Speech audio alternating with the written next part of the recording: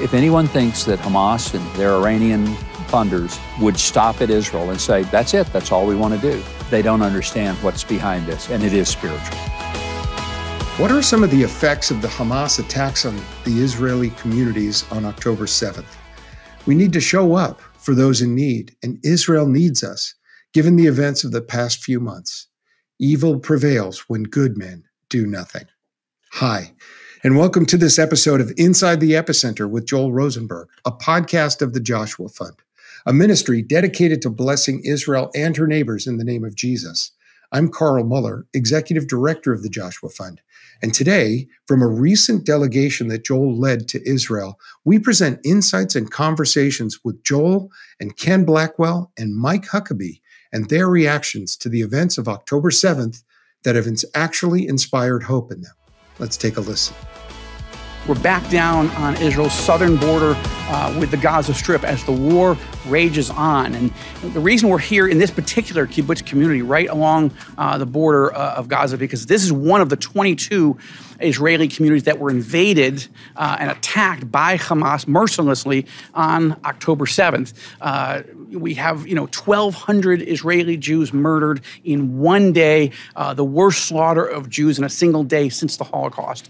And uh, world leaders have come here. I've been reporting, as you know, on uh, the visits of Boris Johnson, the former Prime Minister of the UK, uh, former Prime Minister uh, Scott Morrison, of course, President uh, Biden uh, came not here, but but of course to Israel during the war. Lots of world leaders, foreign ministers, others.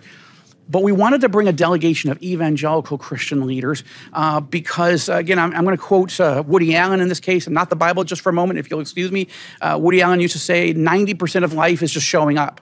And I think it's important when evangelical Christians show up, just literally come, for me to ask evangelical Christian leaders to, you know, yes, you've got uh, ministries in the States, yes, it's Christmas, yes, you've got family but would you take some time and fly over to Israel and let me walk you through, join up with IDF uh, officials uh, and others to walk through the, the, the site of these atrocities? I did it, but I wasn't sure that Christians could make that time. I mean, they wanted to, but this group uh, really delivered. Uh, they've come to see. Uh, and to listen. We spent time earlier today, we're going to show you in a little bit, just sitting down with uh, the families um, who there are family members are hostages in Gaza yes, we asked some questions, but it was about listening to them. So many of them, so many Israelis, so many Jews worldwide, but especially here in Israel, feel attacked, not just physically by Hamas or Hezbollah, but they're under attack by the UN, pass, trying to pass resolutions to condemn us, the UN Secretary General condemning us of war crimes.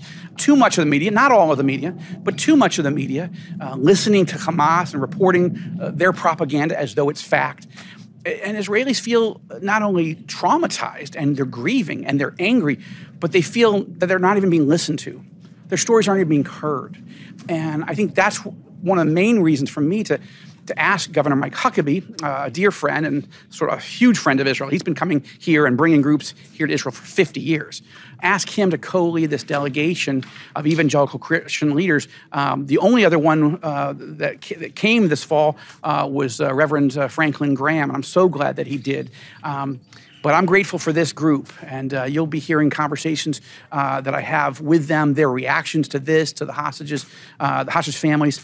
Uh, but it's important to walk through these blood-stained homes, uh, the, pockmarked with uh, bullet holes, uh, scorched by, um, by Hamas terrorists who br- literally brought their own gasoline tanks from Gaza to set these homes on fire and burn Jews alive. That there were 40 babies in this community uh, here in Kfar Aza uh, that were slaughtered. Some of them beheaded. One of them burned in an oven. I mean, it's so unimaginable in the worst possible horror movie, except it's real. And there's so much denial out there in the world. Um, and again, Israeli leaders and the people are saying, listen to us. We have something to say.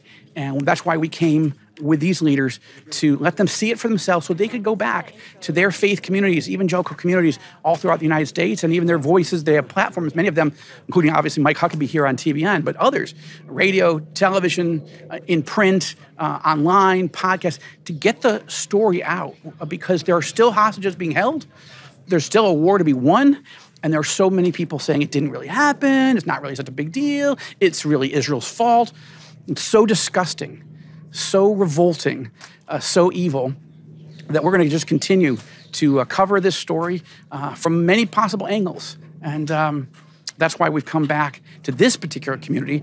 And uh, you'll be hearing as we walk through here the booms. Uh, those are not attacks by Hamas. In this case, uh, this is the booms of Israeli artillery and mortar shells raining down on terror positions in uh, the Gaza Strip. Let's continue walking through um, the site of these horrific, ghastly, barbaric atrocities. Ken, you were an ambassador for the United States to the UN Human Rights Council and you were gracious enough to come on this trip uh, with evangelical leaders to just come and see what's going on in this war that Israel's facing. Your reactions of just walking through this level of devastation, meeting with hostage families, I'm just curious, what's your take? Joel, this, this visit has underscored something that we've learned throughout human history that evil will prevail if good people uh, do, do nothing. Uh, I have worked within the United Nations and the multilateral uh, world that it represents. Uh, but I, will tell you this um, many times, people who were on the jury in, at the UN should have been in the dock. And that is what I know now that we can't sit on the sidelines and wait for people to and nations to react to this savagery, to this attack on the sovereignty of and the people of Israel we have a solidarity and a bond, uh, and we in fact must speak out. You know, Israel has biblical meaning to me on a personal on a personal level, uh, and as I've said throughout this trip, you can't sit here and witness this sort of attack against humanity and and and stay on the sidelines. And yet, uh, the UN, where you serve, uh, keeps trying or passing resolutions where the vast majority of the world is condemning Israel and not even mentioning Hamas in these resolutions. I mean, uh, many Israelis feel like the world is against them, against us, uh, even though we were the ones attacked. You're right, and and that's why, you know, back in the '90s, when we in fact we we spoke out against the uh, resolution that Zionism is racism, we won. We didn't win by giving up. We kept kept fighting. I'm concerned that there is not enough fight in the dog now mm. in the U.S. Uh, to stand up to these bullies and these malcontents uh, at the UN. But we can't wait. We must encourage President Biden to use all of our resources to leverage against this sort of evil. And, and, and in the meantime, we'll try, while we're doing good, we'll try to bring the rest of the world along. But we can't wait. Biden has done some good things. He came here during a rocket war nobody else had. Um, you know, he's provided a lot of weaponry. Uh, he has provided some vetoes at the UN, but um, but he seems uh, schizophrenic. He seems to be willing to arm, or not arm, but but give billions and billions and billions of dollars to Iran, where all this terror is coming from. Um, you know, as, as, a, as an evangelical, um, what's your main message to the people of Israel, and what would be your message back to the American people? Uh, it's, it's the same that we, in fact, as people of the Bible, have to stand together against forces of evil at all times. And at this moment in history, when there is an existential threat against the people and the sovereign state of Israel, Americans, Christians must take a stand. One more question. Um, we got to spend a couple hours with these uh, hostage families uh, earlier today. Uh, any of your own takeaways, impressions of those of those conversations? Well, those conversations were very, very human. It's so easy to, to become very textbook oriented, mm you know, very analytical in a theoretical sense.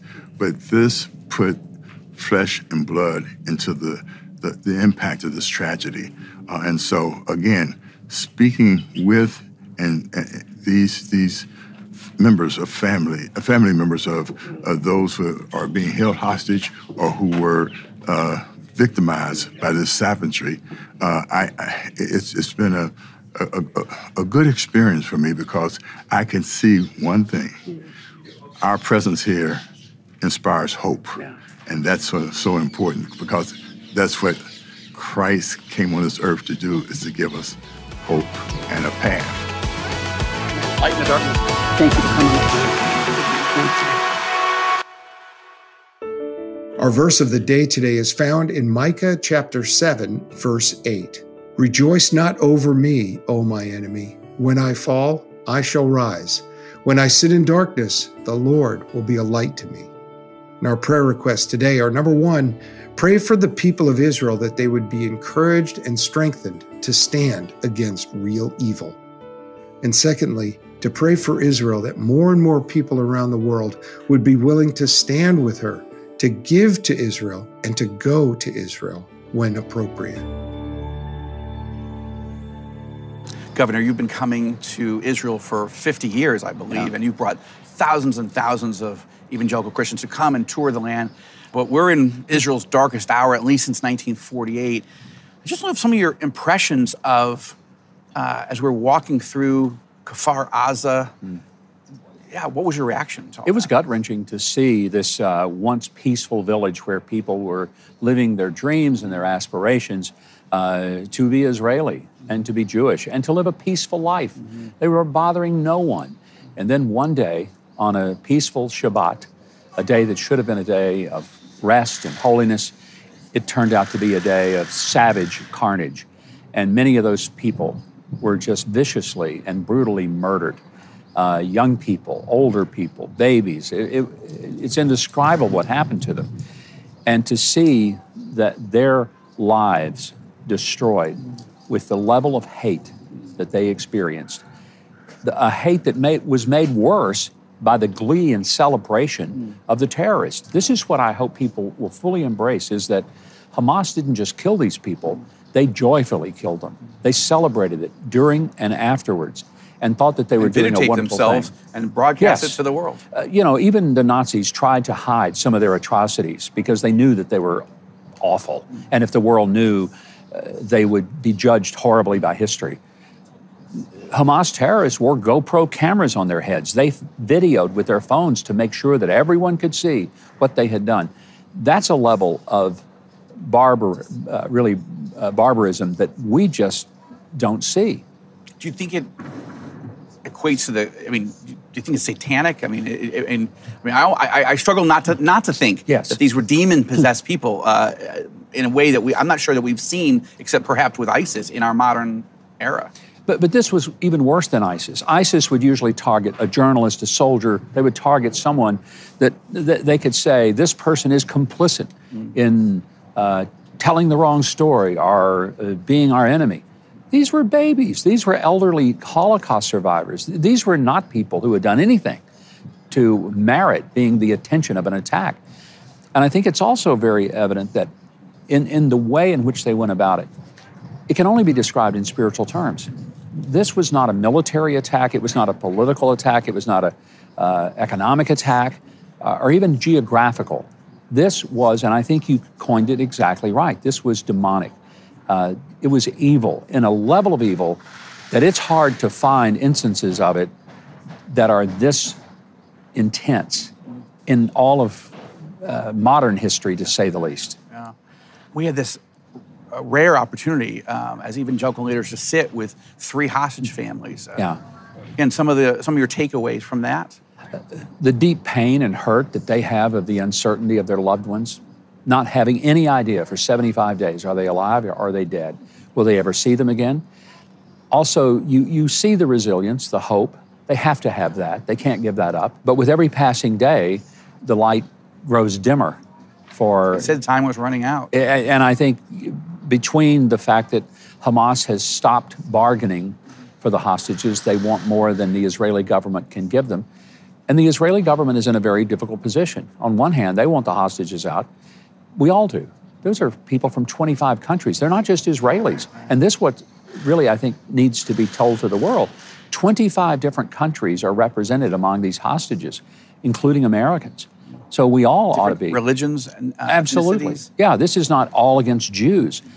Um, Hamas just took these people as bargaining chips. They have no interest in their well-being, none. And any idea to the contrary is just based on no evidence whatsoever. So, what I hope we will do is keep our steely resolve to stand with Israel, allow them to prosecute this war as, as they deem best for not only getting the hostages back, but also for saving their country. And people need to understand this is not about simply protecting a little piece of real estate over near Gaza. This is about the survival of the nation of Israel. And they won't survive if these Iranian funded terror groups are allowed to continue. And you can bring them back to the root, but they will simply grow back unless they're uprooted from the very stems. And that's the only thing that will stop this.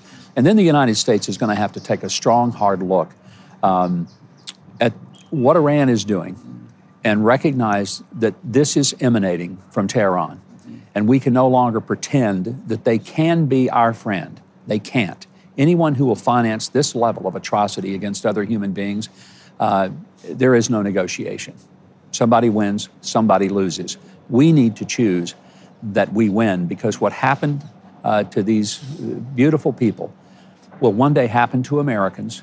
Because if anyone thinks that Hamas and uh, their Iranian funders would stop at Israel and say, that's it, that's all we want to do, they don't understand what's behind this, and it is spiritual. Iran's leaders say that Israel's only the only the little Satan, right? The United States is the great hmm. Satan. I'm really grateful that you were willing um, when I reached out to you. Hey, uh, do you have any time right before Christmas um, to come and co-lead a delegation with me of evangelical leaders? Um, you have a lot of other things going on in your life, uh, your lives, you and your wife, and everything. Why did you decide to carve out time right before Christmas to come? The intensity of my affection for the land of Israel and its people uh, has been developed over 50 years of coming here dozens and dozens of times. And I, I really believe, as a Bible believing Christian, that I have to see Israel in a different light because I believe that God has put his finger on this land, has scoped out and said, This is the boundary. And he did it 3,500 years ago, and he hasn't rescinded his promise. Um, as a believer in the scripture, I don't really have a choice. I have to say that I believe God will bless those who bless Israel and curse those who curse Israel. So, for me, if you're a person of the book, as I am unapologetically a person who believes the infallible, inerrant word of the living God, then I find myself uh, inescapably um, saying, I may not agree with everything Israel does politically or uh, maybe you know governmentally. Doesn't matter. I believe that the Jewish people um, have a divine right to exist and to live, and they should be able to do it in peace and security. One more question as we move uh, into 2024, uh, what we're hearing from senior officials here is that, and, and, and from really from everybody, if we win in the South against Hamas, which nobody really doubts that that's going to happen, yeah. it's, and Israel's made a lot more advances than the media is saying. But how can we live here uh, if Hezbollah is right on our border in the north and is hitting us every single day? what do we do about Hezbollah? And then Iran at 84% enrichment of uranium. Yeah. Um, where do you think this thing is going in 2024? I hope it's not going where it appears to be going, which is an inevitable conflict, not with Hezbollah, Hamas, uh, or the Houthis of Yemen. It's with Iran. I mean, that's, that's the, the mothership. And at some point, we have to quit pretending that we can work with them and give them assets, whether it's oil assets. Mm-hmm. We need to do what was being done, and that is not to bomb them, but to bankrupt them. Bankrupt them into oblivion by the maximum pressure that we were applying to them economically with not only first, but second and third degree sanctions. We, we had. But what if we're out of time? I mean, 84%, yeah. you're just so close to the 90% threshold of military grade, fully operational nuclear weapons. Yeah. I mean, I think none of us want war at that level, and yet, mm. would, do you support an Israeli or American first strike if, if we're if there's no other option? The way I would say it would be this way: whatever it takes to prevent Iran from having nuclear weaponry, we must do, because they're just crazy enough to use it. They would use it, and so how does that uh, play out? What what does that look like? Uh, I'd rather not venture to say, but I would just say that we need to put on the table that whatever we must do, and that whatever includes any and everything, we never allow Iran to have nuclear weaponry. We just don't. Because to do so, if we sit back and th- somehow think that they're going to be nice guys in the neighborhood, uh, we will rue the day we believe that. And there will be hundreds of thousands, if not millions of people who will die because of that miscalculation. I think 2024 may very well be the the pivot of history here uh, on, on, all of these yeah. issues that we've been praying about, thinking about for so long. And I appreciate so much you coming to Israel and uh, being willing, because when you were willing and able to come, the rest of the delegation um, said yes. So thank you so much. Well, it's been an honor, and I appreciate your many years of friendship and uh, what you're doing here by getting the word out of uh, the goings on on a daily basis here in Israel. Thank you for that. God bless you. Thank you. Thanks. So Well, thank you for listening to this episode about understanding the unique challenges that Israel faces at this moment and what we can do in order to help Israel in one of her darkest moments. If you found this podcast really valuable, please get in touch with us. Let us know who you are. Do you want to talk about something else on this show? Do you have a question you want Joel to answer? Send any comments or questions you might have to podcasts at joshuafund.net. Your feedback is incredibly valuable to us as we develop this podcast. And as always, you can check out our show notes for anything you heard on the podcast that you'd like more information on. For Joel Rosenberg and the Joshua Fund Ministry team, I'm Carl Moeller. Thanks for listening to this episode of Inside the Epicenter with Joel Rosenberg. I'm Joel Rosenberg. On your left, you'll find some videos we've chosen specifically for you. We look forward to partnering with you to bless Israel and her neighbors in the name of Jesus.